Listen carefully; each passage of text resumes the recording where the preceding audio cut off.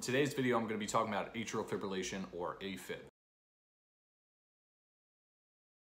AFib is an arrhythmia, or an abnormal rhythm of the heart. In atrial fibrillation, the atria, the top chamber of the heart, beats so rapidly, often greater than 300 to 350 beats per minute, that it actually causes the top chamber of the heart, the atria, to fibrillate. It can't actually beat in a coordinated manner, and it beats so rapidly that it fibrillates, hence the name. The issue with atrial fibrillation is that when the atria is fibrillating, it causes blood stasis in the atria, it causes blood not to be able to move very well. If I were to take blood and just put it in my hand, it would coagulate. It would cause a thrombus or a clot. That same process happens inside the heart in atrial fibrillation. So AFib not only causes an abnormal conduction of the heart, where it's not using the normal intrinsic pathway where it goes from the top chamber down to the bottom, but it also causes people's hearts to be prone to going in a very fast heart rate. So many of our therapies are aimed at controlling that ventricular rate or how many impulses make it from the top chamber of the heart to the bottom, as well as decreasing the risk of having strokes by using anticoagulation or blood thinners. We classify the types of atrial fibrillation based on how long a patient's been in it. Paroxysmal AFib often occurs when a patient is in it for less than seven days and often spontaneously convert out of it. Persistent atrial fibrillation is when it lasts greater than seven days. And permanent AFib is simply when as a clinician with the patient, we decide that we're no longer going to pursue strategies to get them out of atrial fibrillation. Nothing really changes, it's just that in permanent AFib, we've decided that the benefit of pursuing therapies to get you out of AFib are not worth the risk. So when I meet a patient in the inpatient, inside the hospital, or in the outpatient clinic setting, there are a lot of things that I look at in a routine manner in every patient who has atrial fibrillation. The first thing I tell patients is that it's not their fault. You can be the most in shape person in the world and do everything right and still develop AFib. The human body is just not designed perfectly, and as you age, the chance of you developing AFib increases. People in general who are otherwise healthy have about a 20% chance of developing AFib over their lifetime. However, those with modifiable risk factors, things like high blood pressure, if you smoke cigarettes or other nicotine containing products, being overweight, particularly if you're obese, if you have untreated obstructive sleep apnea or poorly controlled diabetes. Alcohol consumption is an interesting one. There was a recent study that found that patients who decreased the amount of alcohol they consumed had a proportional decrease in the number of episodes of AFib that they experienced. This doesn't mean that if you stop alcohol, your AFib is going to be cured. It simply means that if you drink several alcoholic beverages every day, you are more likely to have episodes of AFib versus someone who does not. Alcohol can be directly cardiotoxic, and there's a proportional increase over your lifetime with the amount of alcohol that you drink and your risk of developing AFib. Obstructive sleep apnea is a condition where in the middle of the night, while you're sleeping, you stop breathing. Now, the body's normal mechanism of paralyzing you in your sleep is so you don't act out your dreams. However, as we age, as some people develop more weight around their neck, the muscles in our neck can weaken over time and it can cause us to be prone to stopping breathing because our muscles literally collapse on ourselves. When you stop breathing in the middle of the night, it causes the heart to go, what's going on? I'm not getting any oxygen. Start beating a little bit faster. It's like getting a workout in your sleep, but without any of the benefit. In fact, it weakens the heart over time. And we know that patients who have obstructive sleep apnea, in particular, ones who are untreated, have a much higher risk of developing atrial fibrillation or having poorly controlled atrial fibrillation. Those things can increase your chance of developing atrial fibrillation. So that's why those are some of the things that I'll address with patients who have new onset atrial fibrillation. I always tell my patients that if it was as easy as a doctor coming into the room saying, hey, you gotta eat healthy, exercise, stop smoking, control all of your comorbidities, then I'd be happily out of a job. I know it's not that easy to do all of those things, but a lot of the mainstays of therapy of cardiovascular health is controlling other comorbidities that in the long term can negatively impact your heart health and increase your risk of heart attack, stroke, and death. So what medications do we use to treat atrial fibrillation? As I said, one of the mainstays of therapy is anticoagulation. The reason for that is that clotting is prone to occurring within the left atrial appendage. That's a location within the heart that causes 95% of strokes that we see in atrial fibrillation. Drugs like Eliquis, Xarelto, Pradaxa, and Coumadin are blood thinners that help prevent clots from forming inside of the heart and preventing strokes from occurring. The flip side of that same treatment is a risk of bleeding. So we always have to look at our patient's risk of bleeding and weighing that with the benefit. We often use a risk calculator called CHADS2 VASC score, which helps us determine what their risk of stroke is. There are a lot of nuances with atrial fibrillation that you have to talk to your doctor about, and there's a reason cardiology fellowship is an additional three years after a three-year internal medicine residency after four years of med school. And that's because there are a lot of questions that we don't know the exact answer for, like how much AFib is considered enough to warrant anticoagulation. In order to better evaluate if you're having AFib, we can use different types of monitors like Holters, implantable loop recorders to determine the burden of AFib or how many heartbeats that you have in the day are normal ones versus how many are in the setting of atrial fibrillation. The second type of medical therapy that we use are rate control medications. These are medications that blunt that propensity of the heart to go very rapid in AFib. One of the classes is beta blockers, things like metoprolol, carvedilol, bisoprolol. These medications, again, help blunt that very fast heart rate that may occur in AFib. If you're sitting in AFib at 140 beats per minute and then you walk up a flight of stairs, you're already going at a very fast heart rate and your heart might not be able to keep up. The second class of medications that we often use are calcium channel blockers. These are like diltiazem and verapamil. Digoxin is another medication that works via the sodium potassium ATPase, decreasing the heart rate at the AV node, and also decreases heart rate by stimulation of the parasympathetic nervous system at the vagus nerve level. This medication is much older and it's been around for a while, and it is not a first line therapy anymore, but often we'll use this medication in the inpatient setting when patients are very sick and we need another medication to blunt that heart rate but not affect their blood pressure whatsoever. Now, the third type of medication that we often use in cardiology are antiarrhythmic medications. There are a whole lot of them, they have a lot of silly names, but when you're able to understand the mechanisms, when you can use certain ones, they can be a very valuable tool in the armamentarium of cardiologists. One of the most commonly used antiarrhythmic medications is a sodium channel blocker called amiodarone. Amiodarone has been around for a while and it is highly effective at controlling atrial fibrillation, increasing the chance of chemically converting from AFib to sinus rhythm. And if a patient undergoes an electrical cardioversion where we shock them out of AFib, being on amiodarone increases the chance that that procedure is successful. However,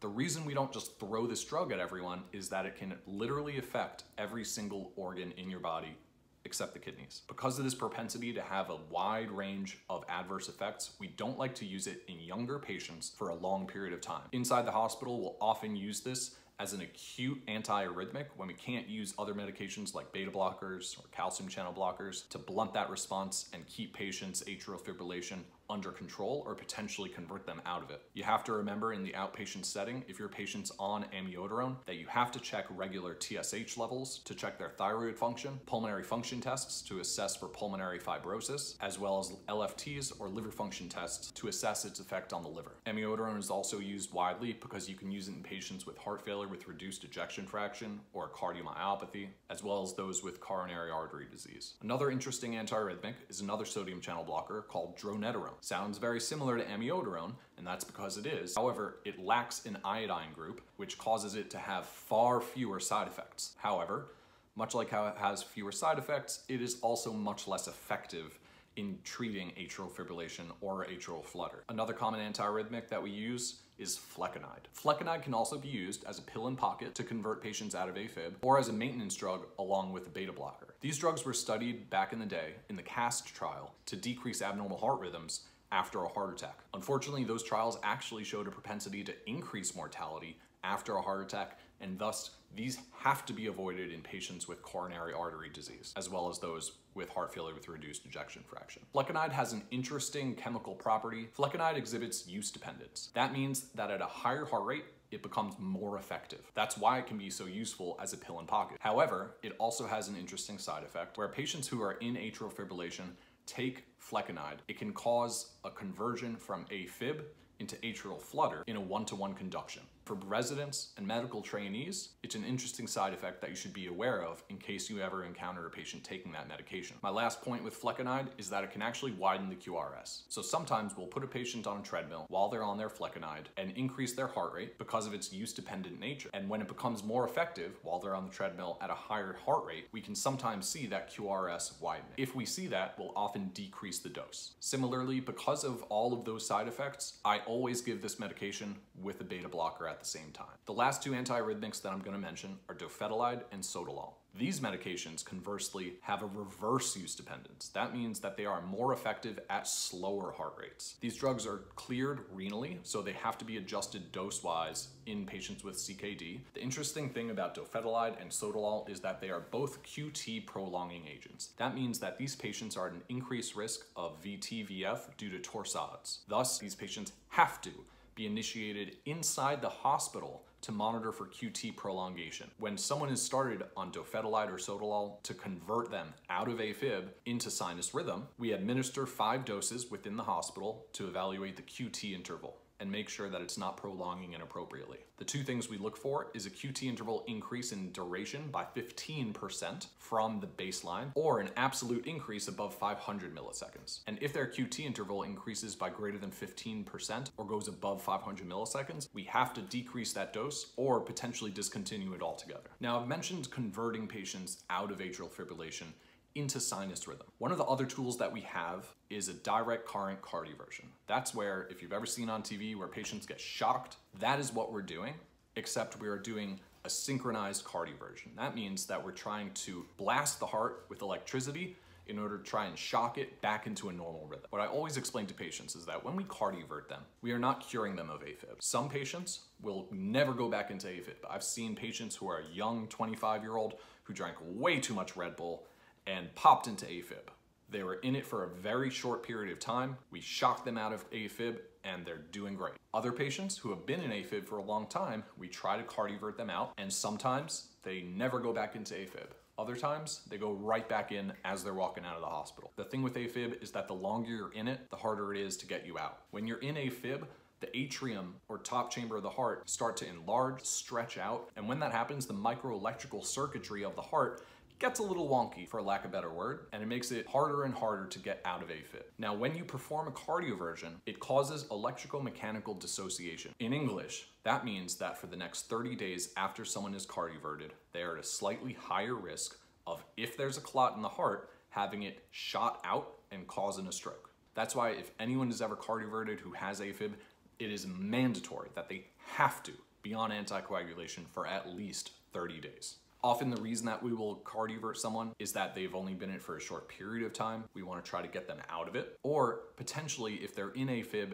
and they have a very weak heart, perhaps they have cardiomyopathy or heart failure with reduced EF. If you have an ejection fraction of say 40%, when 15% of your left atrial filling is caused by that coordinated beating of the atrium, losing it can set you backwards. So sometimes patients simply hemodynamically cannot tolerate AFib and by cardioverting them out, it can make them feel a whole lot better and do a whole lot better clinically. Now, often prior to performing a direct current cardioversion, we'll often perform a transesophageal echo, or a TEE. That's where, much like when you have an ultrasound across the chest or a transthoracic echo, we take a probe, goes down the esophagus. Now, because the only structure anterior to or in front of the esophagus is the heart, we're able to see the heart in much higher clarity. It's kind of like going from an old tube TV to a new HD TV. And specifically with regards to atrial fibrillation, when we do a transthoracic echo, we're not able to see the left atrial appendage. We just can't. So when we do the transesophageal echo,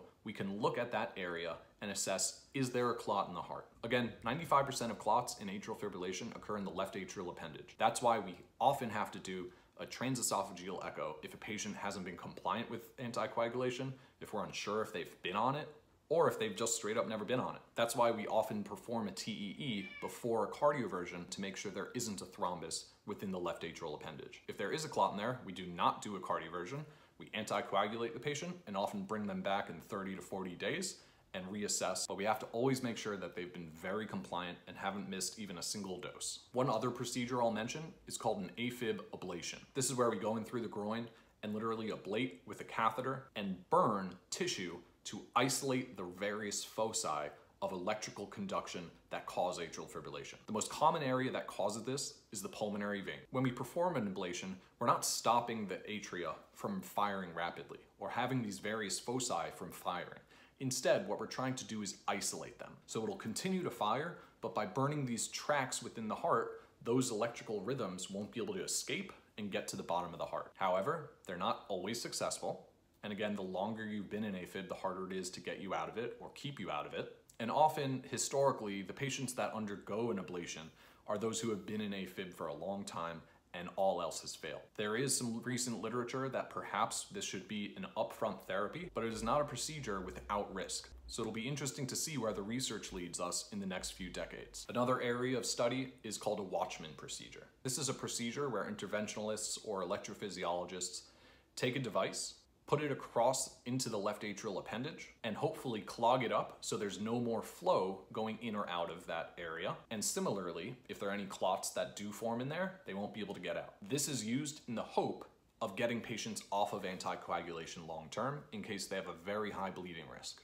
However, this procedure has a lot of upfront risks, and it is not always successful. Patients who undergo a Watchman procedure need to be selected carefully, and it is not a procedure that everyone should undergo. This is another area of study that I think in the next decade or so we'll learn more and more information about.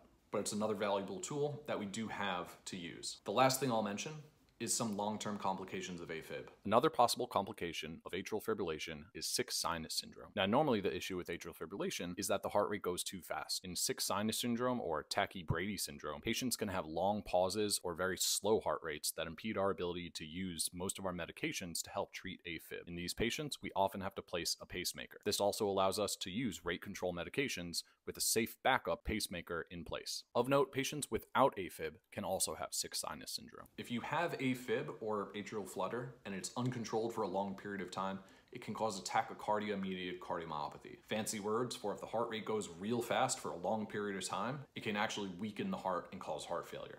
Another complication is that it can dilate the atria and not just cause those atria to get bigger, but also cause the annulus of the right ventricle or mitral valve or tricuspid valve to dilate and cause a very regurgitant flow. In these instances, often cardiac surgery is needed to repair that valve.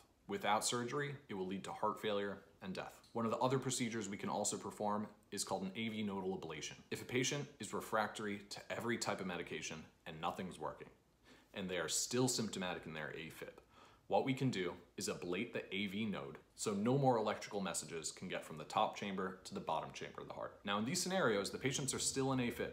They're still gonna need to be on anticoagulation. But all of those random foci of electrical stimulus are not going to be able to get to the bottom chamber of the heart. Similarly, however, there aren't going to be any electrical foci getting to the bottom chamber of the heart. So we have to do an AV nodal ablation with a pacemaker because they'll now be pacemaker dependent. Sometimes this can increase the patient's quality of life tremendously, but clearly it's kind of an extreme measure. It is reserved for patients who have tried everything else. Hopefully this video was educational. If you're a patient and you have any questions, you can comment below. I can't comment specifically about your case, but I can answer general questions about atrial fibrillation. And hopefully if you're a resident, medical student, medical trainee, pre-med, someone just interested in cardiovascular disease, hopefully you found this interesting. If you did, like, comment, and share so other people can find this video as well. And if there's something else in the realm of cardiology or cardiovascular disease that you wanna learn about, whether it's a disease process, medication, or a procedure, comment down below and maybe I'll try and make a video about it.